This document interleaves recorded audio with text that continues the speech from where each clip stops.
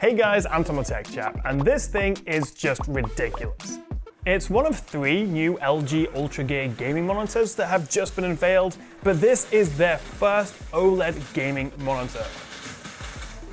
And so the idea is instead of maybe buying one of their OLED TVs like the C1 or C2, both of which I have used right here as my sort of desktop replacement monitor slash TV, this LG Ultra Gear 48 GQ900 is made for gamers. So a big thank you to LG for sending these review samples out to me and also offering to sponsor this video, but as always, all opinions are my own and they don't have any input on my tests or scripts. So when this was first announced a few months back, I had a few big questions. What about burn-in? What's the port situation going to be like? And also how expensive? And is it going to be any good? Well, I've only had a week with this so far, but I reckon I can answer most of those. And to answer what I think is probably the biggest question, how does this compare to an OLED TV? Well, I think there's six big differences.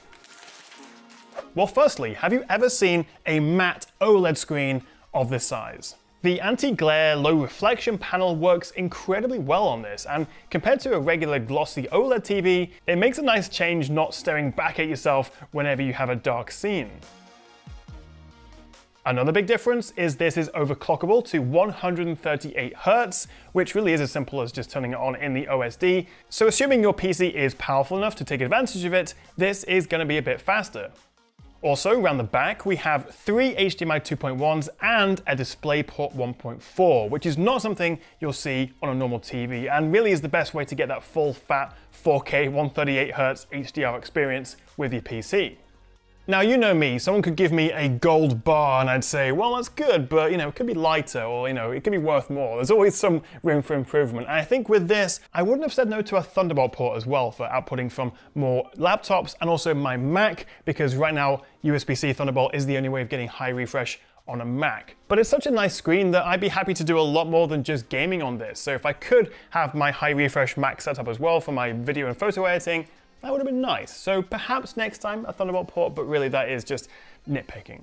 Another difference versus a TV is that we have this RGB lighting on either side, which to be fair isn't really powerful enough to change the color of your wall behind it unless you have it wall mounted, in which case these side lights will have more of an effect. And actually, I probably would recommend VESA mounting it because even though I have a pretty big 100 centimeter deep desk here, 48 inches is still a lot. So I would either wall mount or consider carefully where you're gonna put this in your room.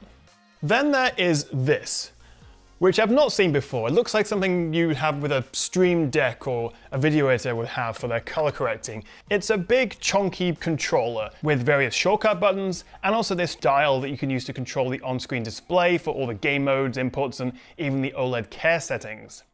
I don't know why it needs to be this big though, but alright. And finally, one other difference is that with this we get DTS HPX sound and also this headphone jack up front instead of more traditional eARC and Dolby Atmos support that you get with a TV. And of course, this doesn't have a TV tuner or the WebOS Smart interface, and there's also no Dolby Vision HDR. So you can of course watch stuff online, or probably a better idea is using a games console because they have various streaming apps as well.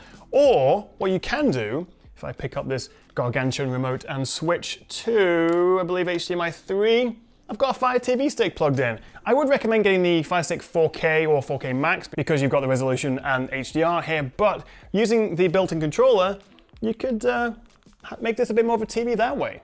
But really, you're buying this to game on, and in that respect, it is awesome. I mean, 4K, 138 Hz, as low as a 0.1 millisecond response time, I measured 450 nits of brightness in SDR and 1150 nits in HDR, which is beyond what most OLED TVs can pump out. And of course, being OLED rather than IPS or VA or even with a mini LED backlight, these self-lit pixels means we really don't have to worry about haloing and blooming or light bleed anything like we do with traditional monitors.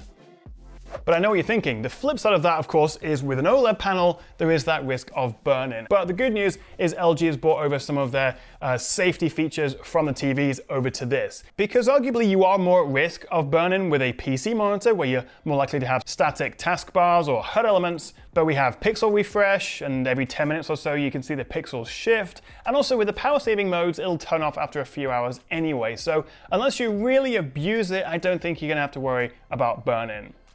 Also, have a look at this. I've increased the brightness to 100, so this may be a little bit blown out on my camera, but one issue I've had with using OLED TVs as a desktop slash gaming monitor is the very aggressive auto dimming, which actually on some of the TVs, LG's TVs, you can turn off. If you buy a service remote control, you can sort of disable it, but it's not really recommended and it's a bit of a faff. There is still auto dimming to prevent burn-in and uh, you know give you a longer life of your screen, but it's not overly aggressive. It's not something I've really noticed. That's the crucial bit.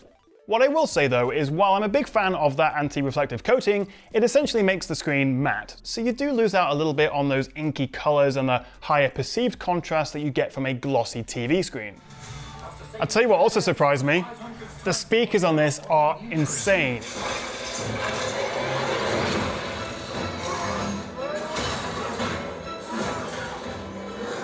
It's also just a really good looking monitor. We've got super thin bezels around all the edges, there's no chunky chin like you often find, and also the stand is nice and low profile, and cables can run underneath, which is handy.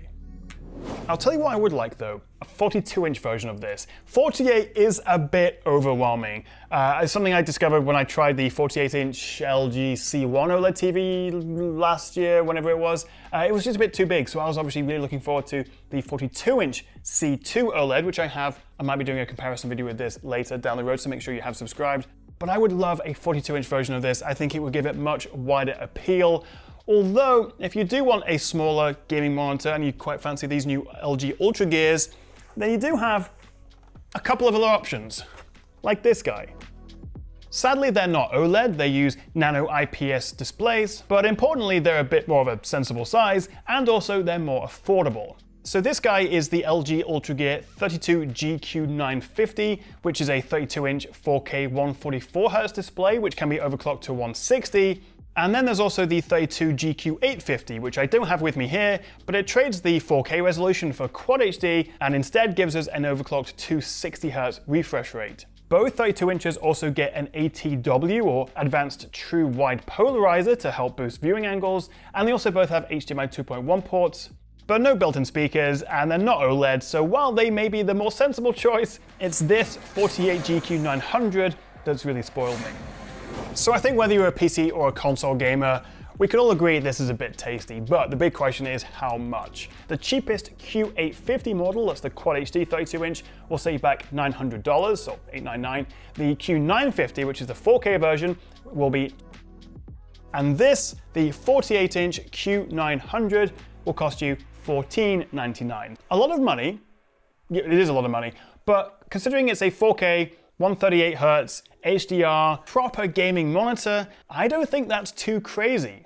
I reckon I am going to stick with this for a little while. As I say, I'm hoping to do maybe a longer term review of it and also compare it to uh, other displays and also TVs. So make sure you've hit that subscribe button. And also right now, LG Ultra Gear are running a 24 hour campaign with loads of different creators talking about these monitors. So watch some of those and also check out LG's Twitch and Twitter pages to find out more.